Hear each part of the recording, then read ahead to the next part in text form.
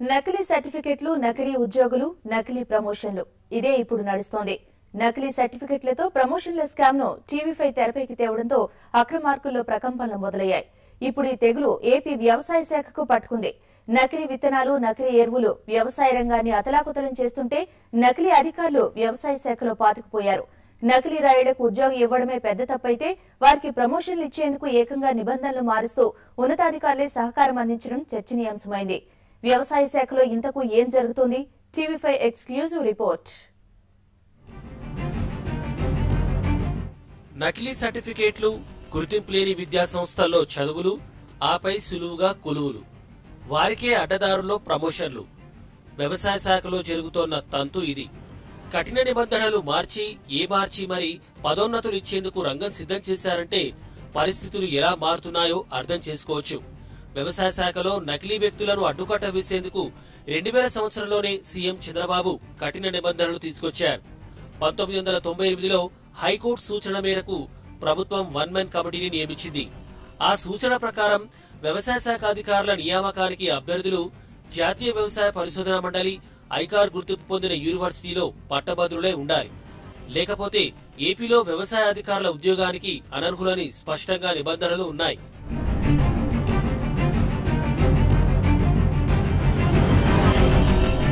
వ్యవసాయ శాఖలో ఇతర శాఖల మాదిరి పోటీ పరీక్షలు ఉండవు. అగ్రికల్చర్ బీఎస్సీ పట్టా చేతిలో ఉంటే చాలు ఇంటర్వ్యూల ద్వారా వ్యవసాయ శాఖ అధికారులుగా నియమిస్తుంటారు. ఇదే అక్రమార్కులకు వరంగా మారింది. ఐకార్ అక్రిడేట్ ఉన్న వర్సిటీల పట్టాలు ఉన్న వారికే ఉద్యోగం అంటూ ప్రభుత్వం జీవో నంబర్ పదహారును విడుదల చేసింది. అప్పటి నుండి వ్యవసాయ శాఖలో నియామకాలకు జీవో నంబర్ పదహారు ప్రామాణికంగా మారింది. అయితే సదుద్దేశంతో ప్రభుత్వం రూపొందించిన నియమాలను తుంగలో తొక్కుతూ రెండు వేల రెండు రెండు వేల ఐదు రెండు వేల ఆరు రెండు వేల తొమ్మిదిలలో ఐకార్ గుర్తింపు లేని యూనివర్సిటీలలో పట్టాలు పొందిన మూడు వందల మంది అభ్యర్థులను వ్యవసాయ శాఖ అధికారులుగా నియమించారు. ఇలా నియమితులైన అభ్యర్థులలో డెబ్బై నుంచి ఎనభై శాతం మంది యూపీలోని డాక్టర్ బిఆర్ అంబేద్కర్ యూనివర్సిటీలో అగ్రికల్చర్ బీఎస్సీ చదివిన వారే ఉన్నారు. ఆ వర్సిటీకి ఐకార్ గుర్తింపు లేదు. దీంతో నిబంధనలకు విరుద్ధంగా వ్యవసాయ శాఖలో నియామకాలు జరిగాయని ఉద్యోగులు అభ్యంతరం వ్యక్తం చేశారు. దీంతో విచారణ జరిగింది. అక్రమాలు నిజమే అని తేలాయి. అయితే నాటి సమైక్యాంధ్ర ఉద్యమాల నేపథ్యంలో ఈ వ్యవహారాలు మరుగున పడ్డాయి. అప్పటి నుంచి ఐకార్ గుర్తింపు లేని వర్సిటీలో చదివిన ఉద్యోగులకు ప్రమోషన్లు మాత్రం నిలిపివేశారు.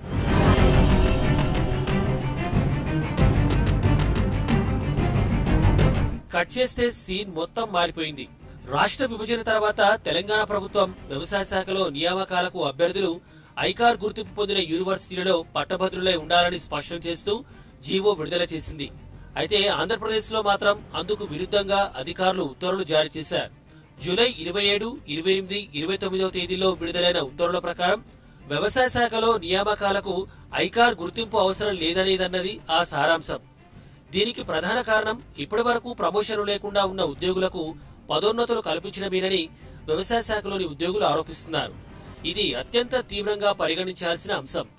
నిబంధనలకు విరుద్ధంగా కొలువుల్లో ఉన్న వారికి మరిన్ని రూల్స్ బ్రేక్ చేసి మరీ అందరం ఎక్కించేలా చేయడం దారుణమైన విషయం. వాస్తవానికి ఎన్జీ రంగా విశ్వవిద్యాలయంలో అగ్రి బీఎస్సీ చదవాలంటే అందుకు ఎంసెట్ మెడికల్ పరీక్షలో ర్యాంకు సాధించాలి. ఎంసెట్ మెడికల్ రాయాలంటే విద్యార్థులు ఇంటర్లో బైపీసీ చదవాలి. అయితే డాక్టర్ బిఆర్ అంబేద్కర్ యూనివర్సిటీలలో పట్టభద్రులైన వారు ఇంటర్లో ఎంపీసీ సిఈసి హెచ్ఈసి గ్రూపులో చదివిన వారు ఉన్నారు. అత్యున్నత ప్రమాణాలతో కూడిన విద్యను అందించే యూనివర్సిటీలకే ఐకార్ గుర్తింపు ఇస్తుంది. మన దేశంలో ఐదు వందల వరకు యూనివర్సిటీలు ఉండగా అందులో ఐకార్ గుర్తింపు పొందినవి కేవలం నలభై మూడు మాత్రమే. ఆ నలభై మూడులో ఆచార్య ఎంజీరంగా విశ్వవిద్యాలయం ఒకటి. అలాంటి ప్రతిష్టాత్మకమైన యూనివర్సిటీలో పట్టభద్రులైన వారిని పక్కన పెట్టి ఐకార్ గుర్తింపు లేని సంస్థలో పట్టభద్రులైన వారికి అధిక ప్రాధాన్యత కల్పించడం పట్ల విద్యార్థులు ఆగ్రహం వ్యక్తం చేస్తున్నారు. ప్రభుత్వం సదుద్దేశంతో రూపొందించిన నిబంధనలకు నీళ్ళొదులుతూ ఉత్తర్వులు జారీ చేయడం ఏంటని విద్యార్థులు ప్రశ్నిస్తున్నారు. Indian council of agriculture research అనేది క్వాలిటీ స్టాండర్డ్స్ మెయింటైన్ చేస్తూ మన యూనివర్సిటీకి ఆచార్య ఇంజనీరింగ్ అగ్రికల్చర్ యూనివర్సిటీకి అక్రిడేషన్ ఇచ్చింది. ఈ అక్రిడేషన్ లేని యూనివర్సిటీలు అని అంబేద్కర్ గాని ఇంకా వేరే రాష్ట్రంలో యూనివర్సిటీల నుంచి పొందిన డిగ్రీ సర్టిఫికేట్ పొందిన ఈ నకిలీ ఏఓలందరినీ ఇమీడియట్గా తక్షణంగా వెరిఫై చేసి ఈ అగ్రికల్చర్ బిఎస్సీ సర్టిఫికేట్లే కాదు ఇంటర్మీడియట్ టెన్త్ సర్టిఫికేట్లు ఇంకా ఆర్ట్స్ సైన్స్ గ్రూప్స్ జరిగిన వాళ్ళు అంటే హెచ్ఈసి సిఈసి చదివిన గ్రూప్లో వాళ్ళందరూ కూడా ఉన్నారు. ఎంపీసీ అసలు ఎంపీసీ నుంచి అగ్రికల్చర్ బిఎస్సీ చదివిన చరిత్ర మన భారతదేశంలో లేదు కానీ మన ఆంధ్రప్రదేశ్లో మాత్రమే ఉంది. ఇటువంటి అనర్హులందరినీ ఇమీడియట్గా తక్షణంగా సర్టిఫికేట్ వెరిఫై చేసి ఇమీడియట్గా మన వ్యవసాయ శాఖ నుంచి తొలగించవలసిందిగా కోరుచున్నాము. మేము ఎంసెట్ అనే ఒక పోటీ పరీక్షతో ఎంతో కష్టపడి ఈ వ్యవసాయ విద్య అభ్యసించడానికి అర్హత పొందామండి. కానీ చివరికి యూనివర్సిటీ పెద్దలు ఇంత అనాలోచితంగా చేసిన జీవో ప్రకారం అయితే మాకు ఇప్పుడు చాలా నిబ్బరపరుస్తుందండి. గౌరవనీయులైన ముఖ్యమంత్రి గారు దయచేసి ఈ జీవోని సవరించి మాకు కొద్దిగా లబ్ధి పొందేటట్టు చూడండి. అసలు అనర్హులకు ఉద్యోగాలు ఇవ్వడమే పెద్ద తప్పు.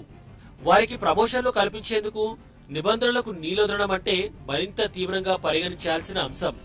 ఇప్పటికైనా ప్రభుత్వం వెంటనే స్పందించి వ్యవసాయ శాఖలోని నకిలీ రాయులపై చర్యలు తీసుకుని ఐకార్ గుర్తింపు ఉన్న వరుసలో చదివిన వారికి న్యాయం చేయాలన్న డిమాండ్లు పెరుగుతున్నాయి.